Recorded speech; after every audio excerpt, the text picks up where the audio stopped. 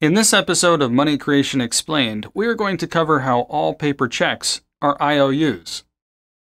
Before today's sophisticated payment techniques of credit cards, online transfers, payment apps, and the likes, there was the simple system of exchanging checks. A check is a paper document used to deliver funds from one person or entity to another. It authorizes a bank or credit union to pull a promised exact amount of money from the specified checking account. In essence, the check is a form of an IOU that allows products and services to exchange hands first and payments come later when the check is deposited or cashed. Checks are no longer as commonly used as they once were.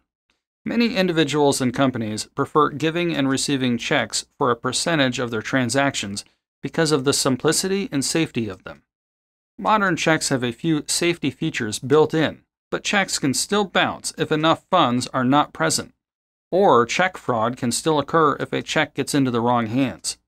Different types of checks used in the industry include personal checks, business checks, cashier's checks, and certified checks. IOU Notes is a peer to peer credit and loan platform.